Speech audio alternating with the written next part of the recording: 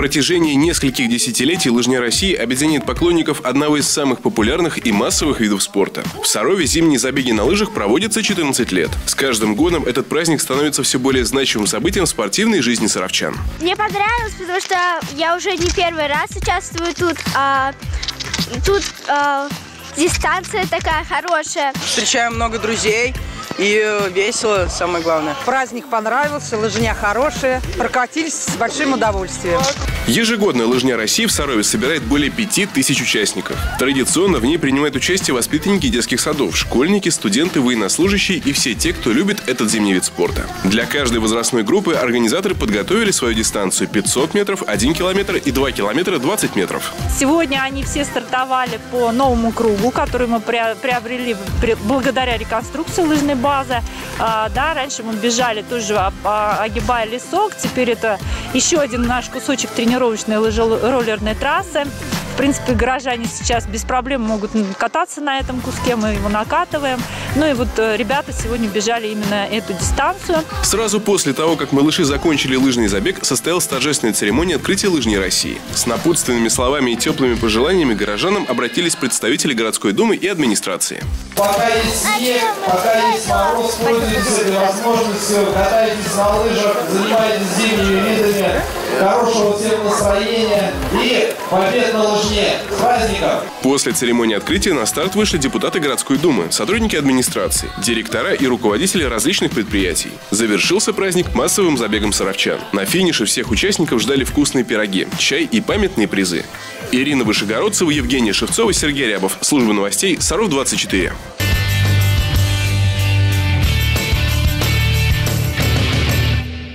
Соревнования за звание сильнейшего шахматиста заняли два с половиной часа. Именно столько времени понадобилось 15 спортсменам, чтобы в молчаливых сражениях на черно-белых полях набрать наибольшее количество очков. На партию давалось всего 5 минут. По итогам 14 игр победителем стал Юрий Шевердин. По мнению шахматиста, подобные турниры не менее важны классических соревнований. Основное в шахматах это полтора часа, где вот определяется вот качество, более качественная игра, когда вот э, дается возможность сделать качественный ход. Ну, по 5 минут это тоже как достаточно важно. Как-то скорость э, вот, э, воспитывается в подобных турнирах. В турнире приняли участие сильнейшие шахматисты, мастера спорта, чемпионы соревнований различного уровня. В честь Дня российской науки спортсмены, занявшие первое и второе место, провели показательные матчи в вагоне Юрия Борисовича Харитона. Финальная партия Юрий Шевердин сыграл с Владимиром Рословым в зале заседаний. Приятно было побывать там, я ни разу не был. Лично я не был. Так посмотреть место, где работал наш великий академик. Вот, было приятно, ну, интересно. А когда садишься за шахматы, забываешь обо всем. В принципе, так сказать, окружающее не существует, если ты действительно э, погружаешься в игру, в соревнования. Здесь только доска и все. Блиц-турнир показал, что в борьбу вступили сильнейшие соперники. По итогам двух партий – ничья. Мы запустили, как во многих сейчас турнирах, э, называется «Армагеддон», когда ставится черным 4 минуты, но в случае ничейного результата победа отдается черным цветом. В этот раз победителем стал Владимир Рослов. Подобные близ-турниры проводятся в ядерном центре регулярно, но впервые его организовали в Музее ядерного оружия. И по мнению спортсменов, это лучшее место, чтобы отметить День российской науки. Елена Грицкова, Константин Островский, Сергей Рябов, Служба новостей СРО 24.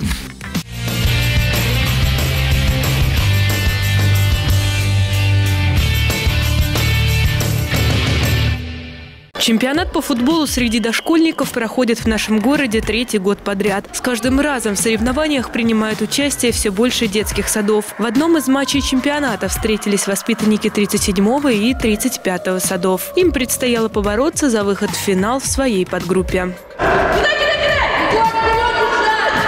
На поле разворачивалась нешуточная борьба. Каждая команда старалась принести своему саду как можно больше очков. Удача улыбнулась воспитанникам 35-го детского сада. Динамичные атаки и точные передачи помогли им обыграть соперников со счетом 3-0. Мне понравилось, и мы выиграли первое место, мне это больше всего понравилось. Мы еще будем стараться и будем выиграть еще первое место. Воспитанников детского сада номер 37 проигрыш расстроил. Но малыши не собираются так просто просто сдаваться. У них еще есть шанс побороться за призовое место.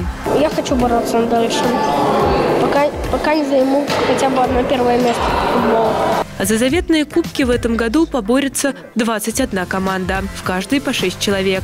5 основных, один запасной. Всех разделили на 7 подгрупп. Юным спортсменам предстоит сыграть в круг. Чемпионат очень полюбился. У нас э, с удовольствием ребята участвуют. Большое спасибо Куликову Анатолию, который всю техническую сторону берет на себя. И судейство, и жеребьевку, и составление графика. Соревнования продлятся до 18 февраля. По итогам чемпионата участники получат дипломы и памятные подарки. Ирина Вышегородцева, Артемий Глазков, Сергей Рябов. Служба новостей Саров 24.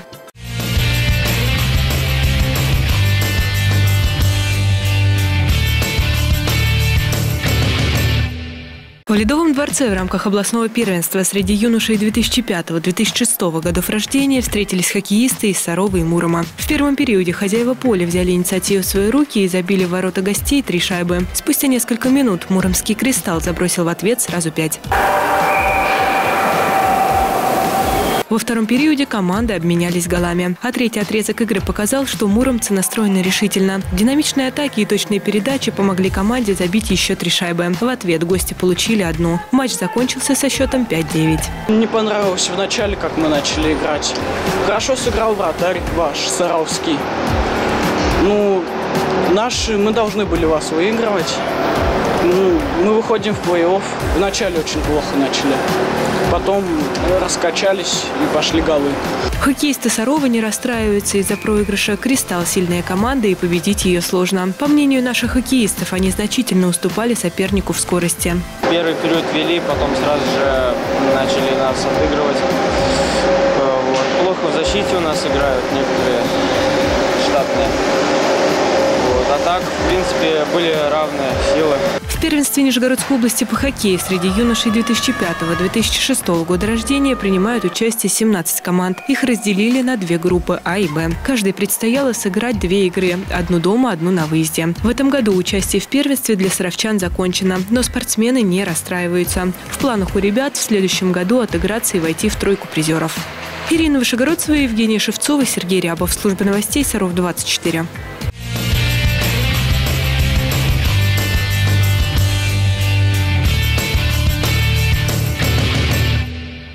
Рамках общероссийского проекта «Волейбол в школу» в Починках прошел зональный турнир по волейболу «Серебряный мяч» среди команд девушек 2005-2006 годов рождения. В соревнованиях приняли участие команды победительниц муниципальных этапов из Сарова, Починок, Пильны, Первомайска, Большого Болдина. Саров на соревнованиях представила команда лицея номер 15 в составе Дарьи Гердюковой, Елизавета Назаренкова, Виктория Спиранская, Алена Репина и Василисы Новоселовой, Аллы Шикуровой, Александры Закатовой, Алены Алексеевой, Марии Ермаковой, Алены Гуториной. По итогам зонального этапа команда лицеистов заняла третье место. Виктория Спиранская признана лучшим игроком соревнований. Тренирует спортсменок Олег Андрейченков и Валерий Половников.